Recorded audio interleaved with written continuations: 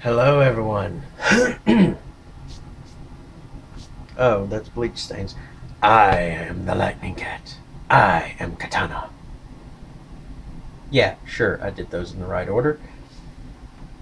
I'd like to share with you all a little clip from Rick and Morty.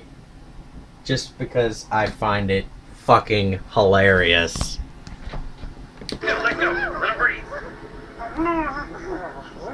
Make a deal. Half the code's now, half after you finish. But can't we trust? Wait, what? Finish what? Uh, you, you know. I thought I was torturing him! Oh, and this disappoints you? Do I tell him we don't have a deal, Morty? Because if we can kill our enemies but we can't jack them off, then how are we better than them?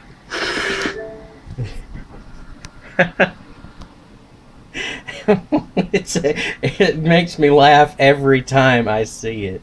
It's freaking amazing. And it's definitely something to think about.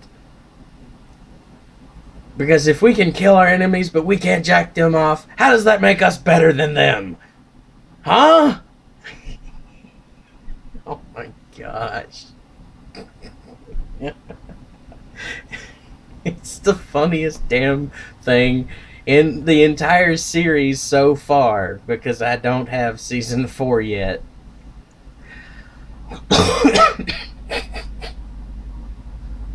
Gonna die laughing at something someday, and somebody's gonna have to bring me back just so I can die laughing at something else.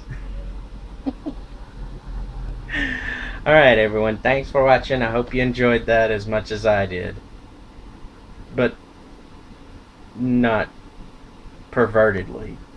It's just, uh, it's a poetic irony, is what it is.